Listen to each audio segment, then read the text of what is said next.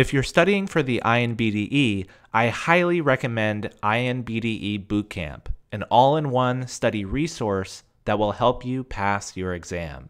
Use coupon code MENTALDENTAL for 10% off.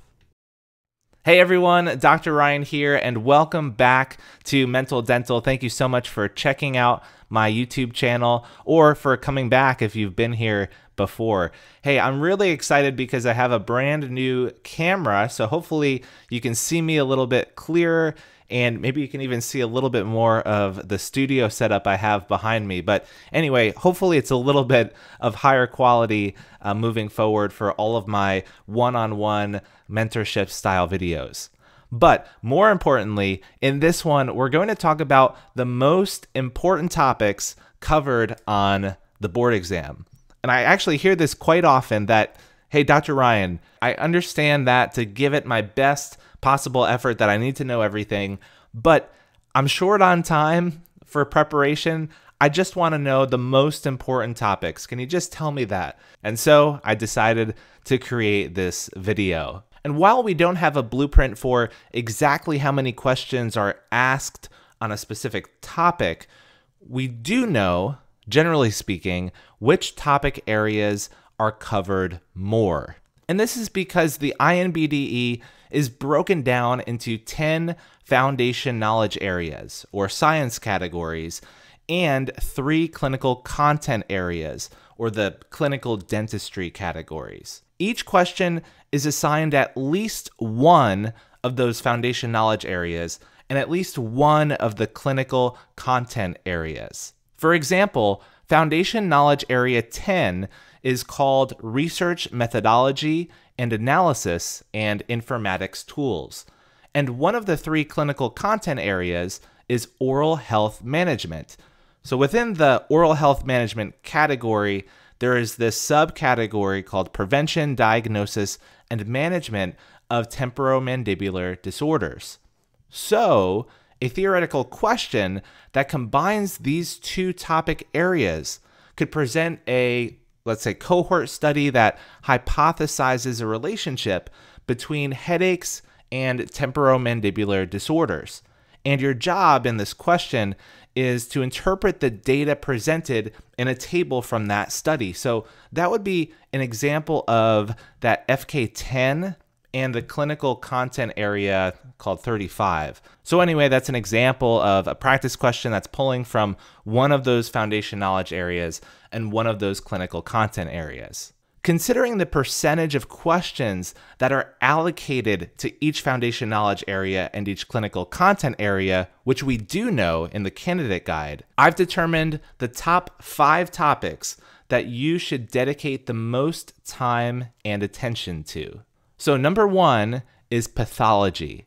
This topic focuses on recognizing the normal range of clinical findings and distinguishing deviations from normal that require monitoring, treatment, or management. This is not only caries and periodontal disease, but developmental disturbances of the teeth, bone, and soft tissues, bacterial infections, viral infections, fungal infections rashes, blisters, bumps, sores, cysts, tumors, cancer, and everything in between.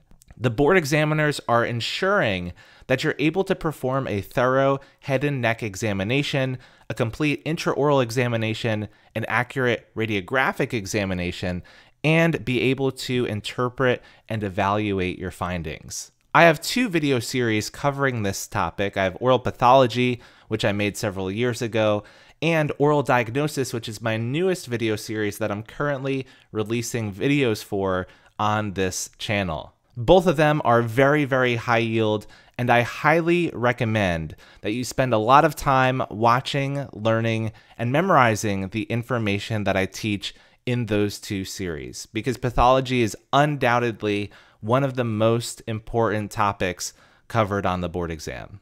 Number two is ethics. Now, this topic focuses on the five ethical principles in dentistry, those being patient autonomy, non maleficence, beneficence, justice, and veracity. And it covers how to apply those principles in day to day practice. This includes everything from maintaining patient records to responding to challenging scenarios. There are a surprisingly high number of ethics questions on the exam, so my ethics video series is something you should absolutely be watching at least once, if not more than that. The good news is it's one of the shorter series that I've done, and it teaches directly out of the ADA principles of ethics and code of conduct. So it's all very high yield and won't even take you that long to get through.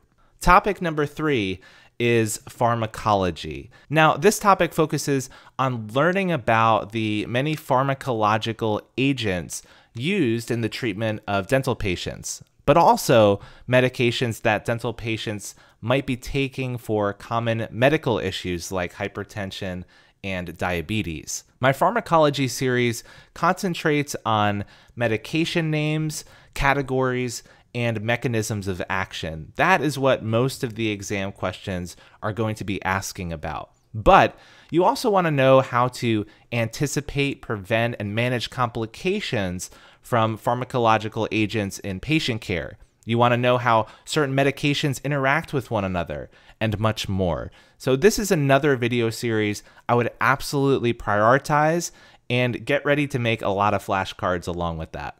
Topic number four is oral medicine and medical emergencies.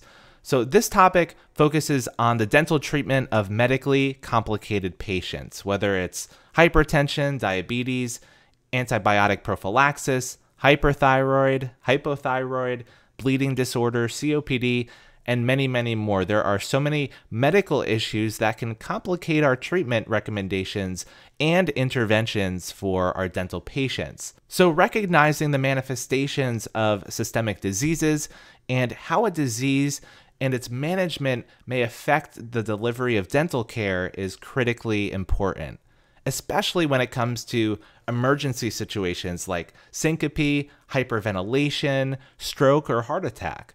I talk about all of these things and much more in my oral medicine series, as well as the medical emergencies video in my oral surgery series.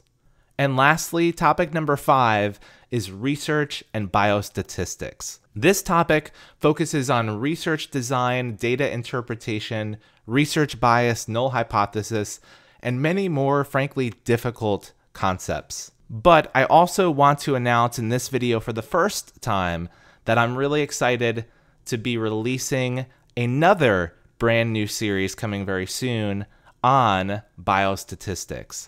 So you can look forward to that series in the upcoming months. In that series, I will distill down and simplify the many difficult concepts found in the research, biostatistics, and evidence based dentistry subject areas. So there you have it. We have five topics that I really want you to focus on and prioritize as you're studying and preparing for this board exam. But guys, that's it for this video. I hope you enjoyed it. I loved doing it from Charlotte, North Carolina with the brand new camera in the recording studio. If you enjoyed this video, please leave a like below and comment telling me which maybe subject area of those five you're most excited to learn about or you're most nervous to learn about.